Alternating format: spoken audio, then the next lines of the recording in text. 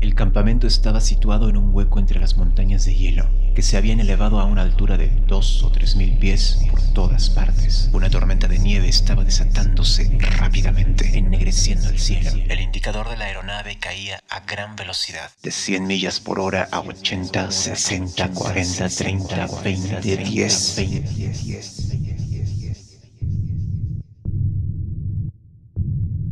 La tormenta golpeaba furiosamente. De repente, las nubes se abrieron hacia una avalancha de nieve girando.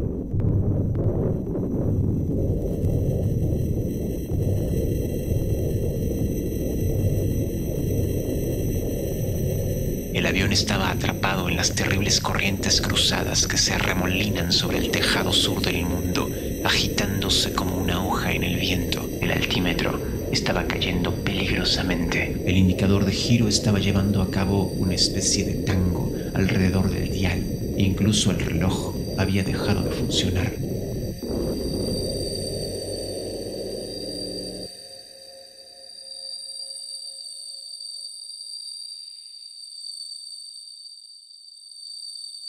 El indicador de presión del aceite presentaba una visión aún más sorprendente. De un solo vistazo mostró que o bien había una fuga, o de lo contrario el aceite se había congelado.